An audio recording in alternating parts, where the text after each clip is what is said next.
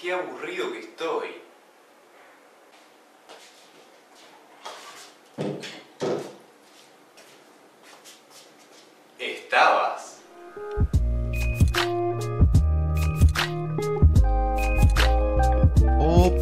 Opa, opa, ¿qué tal gente? ¿Todo bien? Bueno, yo los saludo acá con esta nueva disposición de la cámara Tuki. Se ve un plano más amplio, ¿no? Un poco más agradable creo para mí. Me gusta más de esta forma que la que estaba la cámara antes ahí arriba que me enfocaba la cara como así, ¿viste? Entonces ahora creo que está un poquito, un poquito mejor. Se puede apreciar el microfoningui por acá, ¿no? Como para que tenga un poco de participación pero bueno, en el video de hoy no vinimos a hablar de cómo puse la cámara, ¿no? Así que vamos a arrancar con lo que realmente nos interesa. Y es que, bueno, como todos saben, el fin de semana pasado tuvimos que votar las PASO y la verdad que como no podía ser de otra manera, Argentina lo hizo a su modo, ¿no? Así que vamos a ir chequeando qué pasó en estas PASO. ¿Qué pasó en las PASO? Paso 2021. Votaron el COVID-19, un carpincho y otros hechos insólitos. Tranqui arrancamos, ¿no? Eh, normal. El hombre carpincho fue sin dudas el protagonista de este domingo electoral. Un hombre vestido del roedor asistió al centro de votación en el partido bonaerense de Tigre. El hombre hizo fila para sufragar y ante el pedido de las autoridades de mesa para sacarse la máscara para corroborar su identidad, el hombre se negó. Ah, el carpincho todo un rebelde.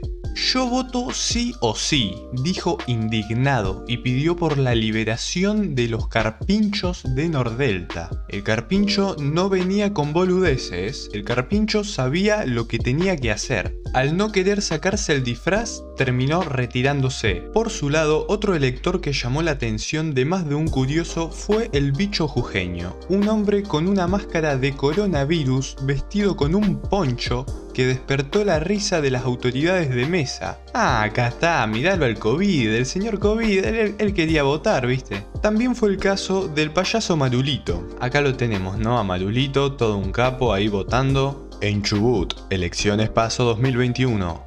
Llegó borracha a una escuela y se hizo pasar por fiscal de mesa. La mujer se mostró agresiva y discutió con la policía. Una mujer llegó a un establecimiento educativo tambaleante y balbuceando, en un claro estado de ebriedad. Y bueno, la tipa, viste, quería, quería emitir su voto, ¿no? Cuando la policía intentó pedirle identificación, en medio de varios insultos y un intento de pelea, dijo que era fiscal de mesa. No solo no tenía su propia documentación, sino que en todo momento se negó a identificarse e intentó ocupar su supuesto lugar democrático. No, no, no, no la iban a mover de ahí, ella quería ser fiscal de mesa. Finalmente la mujer fue retirada del lugar por efectivos policiales, tras protagonizar algunas escenas escandalosas ante las personas que estaban ahí haciendo fila para votar. Vos imaginate que ibas el domingo, viste, entrabas ahí, ibas a votar, tranqui, un día más, bueno, tengo que venir a votar,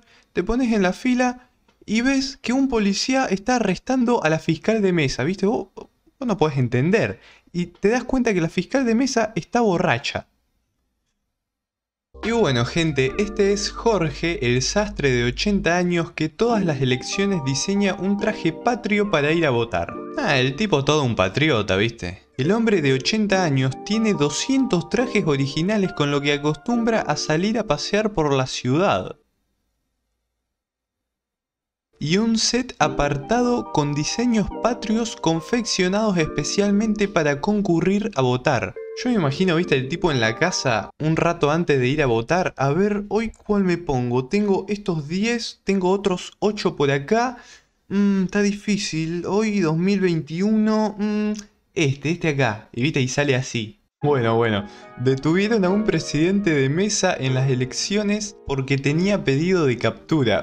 ¿Cómo llegó ese tipo a ser presidente de mesa, primero y principal? El hombre fue a trabajar en el comicio y fue sorprendido por la policía. Yo no lo puedo creer. La presidencia de la mesa quedó a cargo de un hombre de 59 años que se encontraba en el lugar esperando su turno para votar. El pobre tipo llegó al establecimiento pensando que iba a votar, ¿no? Y, se iba a ir a la casa para seguir haciendo las cosas que tenía que hacer, pero lo dejaron ahí enchufado como presidente de mesa porque el anterior, viste, se, se lo había llevado a la policía, detenido. Una cosa de loco. Ah, bueno, bueno, esperen porque acá tengo una más impresionante todavía. Termina de salir un viejo de votar y lo atropellaron y falleció en la puerta de la escuela y todavía no pueden mover el cuerpo. Estamos todos así. Pero ¿qué pasaba? ¿Qué pasaba en las elecciones? ¿No? Está todo loco. Paso 2021. Una mujer murió mientras esperaba para votar. La víctima se descompensó y falleció en el acto en el patio de la institución académica. Pero ¿qué pasó este año? No? Yo la verdad que no, no lo puedo creer. ¿Qué nos esperará eh, las próximas votaciones? Yo no, no sé qué esperarme, la verdad no sé. El chivo se presentó espontáneamente y no lo dejaron votar. Che, vamos. Mirá, al chivo. Mirá cómo tira facha. ¿Cómo no lo vas a dejar votar? Una cayó sin el DNI y dijo... ¿Y si te muestro mi Instagram? Llegó temprano a votar. Le dijeron que debía ser presidente de mesa. Y huyó corriendo.